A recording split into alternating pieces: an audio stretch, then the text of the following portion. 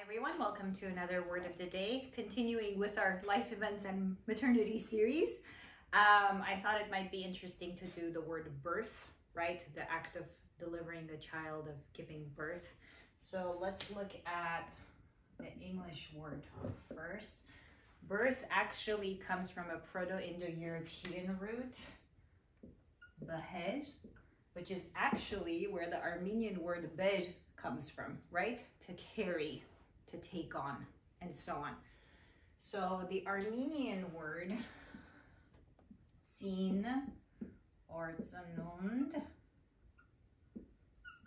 let me transliterate and then we'll see all of the variations. Zin, zanund comes from um, the Proto-Indo-European gen, and of course you'll notice genus, genetics, generation, and so on, right? To beget, to create, to conceive, to be born, and so on. So, zin, birth, zanund, uh, Eastern Armenian speakers, of course, you'll realize this in birthday, right?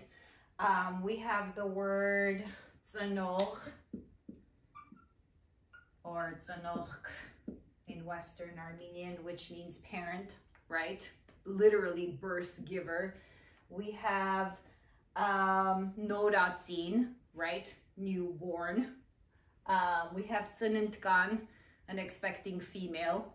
Uh, and so on and so on. So all kinds of formulations around um, Zin and Zanund.